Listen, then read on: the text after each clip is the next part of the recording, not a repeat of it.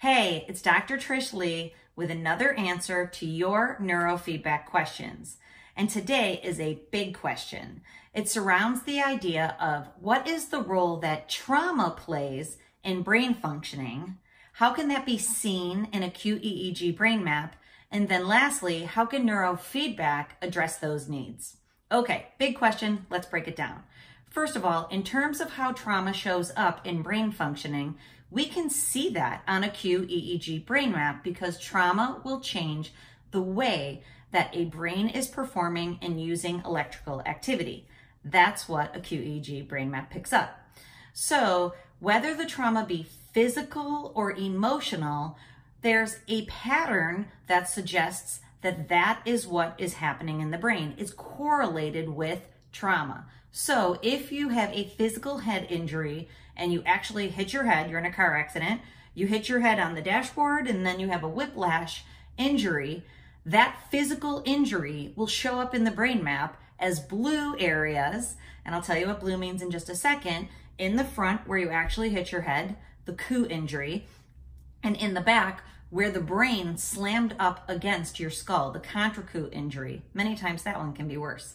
But the idea is when we see blue on the QEEG brain map, that's an indication of low absolute power.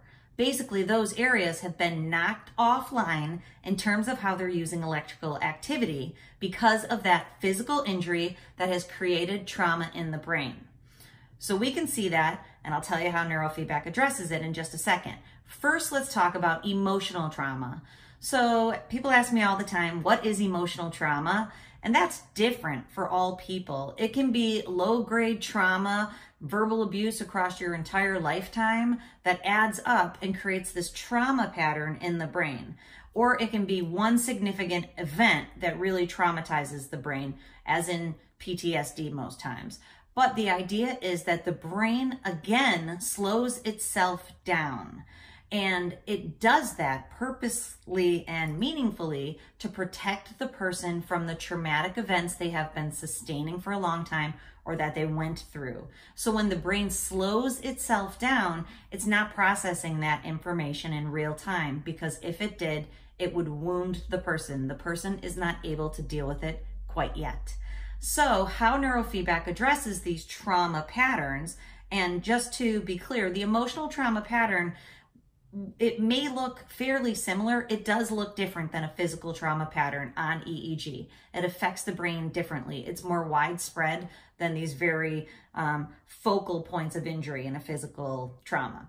But what neurofeedback does is the QEEG brain map identifies which areas of the brain have been knocked low in terms of a head injury or are performing slow in terms of emotional trauma. And clearly that's simplified.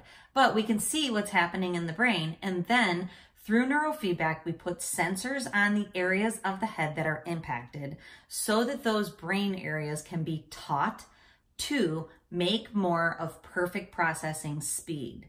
So if someone has suffered an emotional trauma and they have not yet dealt with it, what it will do is it'll speed the brain up so that it's now processing information in real time. So we have a psychologist on our team at Leigh Brain and Spine. And if you're working with a neurofeedback practitioner that's not in our office, you want to make sure if you have suffered an emotional trauma that you have a psychologist in place or a mental health professional in place to help you deal with those traumas once your brain is working at a better speed. It's a pivotal part to your long-term recovery. In terms of physical injury, as those brains come back, brain areas come back online, your brain will start working better and you will start feeling and performing better. And honestly, neurofeedback is one of the only things I would say the only thing that can really bring all those areas back online after a physical injury. And many people in the arena of brain functioning believe that injuries that haven't been resolved are at the core of many people's psychological and physiological symptoms and their issues. So if you have had a head injury, it's wise to get it looked at and taken care of through neurofeedback. Okay, that was a big question with multiple parts, and I hope I was able to give you those answers. And stay tuned because I'm going to provide for you more answers for your neurofeedback questions. Thanks.